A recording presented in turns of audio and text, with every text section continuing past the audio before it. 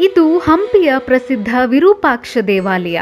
ಇದು ಏಳನೇ ಶತಮಾನದ ಶಿವ ದೇವಾಲಯವಾಗಿದ್ದು, ಇದನ್ನು ವಿಜಯನಗರ ಸಾಮ್ರಾಜ್ಯದ ಆಡಳಿತಗಾರ ಎರಡನೇ ದೇವರಾಯನ ಅಧಿಪತಿಯಾದ ಲಕನಾ ದಂಡೇಶನು ನಿರ್ಮಿಸಿದ ಎಂದು ತಿಳಿದುಬರುತ್ತದೆ ಈ ದೇವಾಲಯ ಸಂಕೀರ್ಣವು ವಿರೂಪಾಕ್ಷ, ಪಂಪಾದೇವಿ, ಭುವನೇಶ್ವರಿ ಮತ್ತು ವಿದ್ಯಾರಣ್ಯರ ದೇವಾಲಯಗಳನ್ನು ಒಳಗೊಂಡಿದೆ.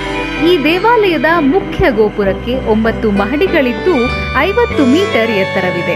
ಈ ಗೋಪುರದ ಬುಟ್ಟದ ಎದುರಿಗಿರುವ ಸಣ್ಣ ರಂಧ್ರದಿಂದ ಬೆಳಕಿನ ಕಿರಣಗಳು ಹಾದು ದೇವಾಲಯದ ಒಳಗಿನ ಕತ್ತಲ ಕೋಣೆಯೊಂದರಲ್ಲಿ ತಲೆಕೆಳಗಾಗಿ ಬೀಳುತ್ತದೆ. ದೇವಾಲಯದ ಸುತ್ತಲೂ ಒಂದು ಕಂಬದ ಛಾವಣಿ, ಪ್ರವೇಶ ದ್ವಾರ, ಅಂಗಳಗಳು ಮತ್ತು ಇತರ ರಚನೆಗಳಿವೆ. ನಾಳೆ ಮತ್ತೊಂದು ದೇವಾಲಯದೊಂದಿಗೆ ಭೇಟಿಯಾಗೋಣ.